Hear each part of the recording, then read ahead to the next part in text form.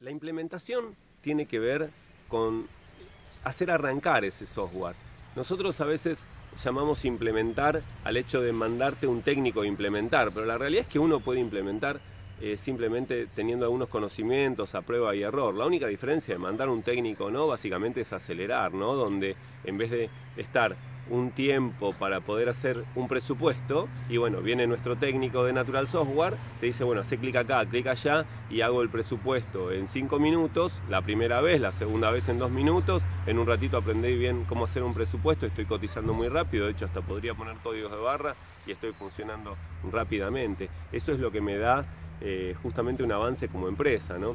Yo siempre digo que con el tema del ahorro del tiempo, es que con un software uno puede ir automatizando temas poco a poco, por ejemplo, recién mencionaba códigos de barra. Bueno, yo coloco códigos de barra, no es que es magia, magia no, la magia no existe ahí.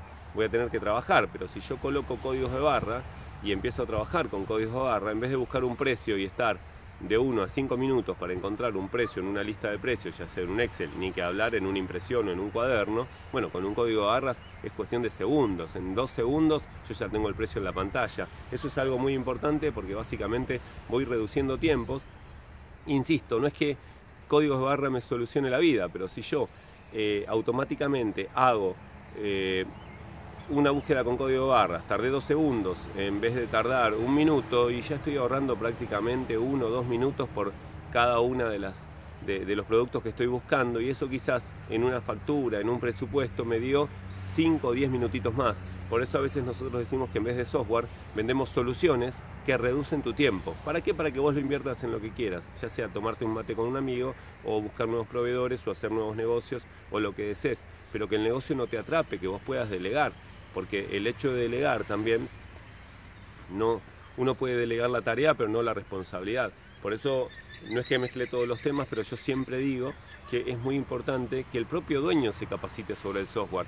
Yo no estoy exigiendo que el dueño sea el que esté haciendo la factura. Quizás para eso tiene una empleada que está en administración o lo que fuere, pero sí tiene que saber cómo hacer facturas para poder, cuando baja línea su empleada, saber qué es lo que está exigiendo. Porque si no conoce la herramienta, muy difícil puede exigir eh, justamente eh, cómo se utiliza esa herramienta y qué funciones asignarle a cada empleado.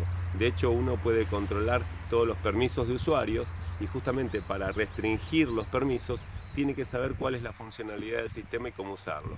Y lo que sí siempre digo, que es muy importante que el dueño tome justamente la bandera de decir, bueno, el software se va a implementar y él haga fuerza porque eso camine, porque impacta en todos los sectores de la empresa. Entonces siempre podemos encontrar algún motivo por el cual no manejar X funcionalidad. Por ejemplo, yo tengo una ferretería, digo, ah, no, lo que pasa es que como el stock de las arandelas es imposible de manejar, entonces no manejo nada. No, no, es eh, es totalmente un error eso. O sea, si yo no puedo manejar el error del de, el, stock de las arandelas y podré manejar el stock de las máquinas. Entonces tenemos que empezar por ciertos productos y luego ir a...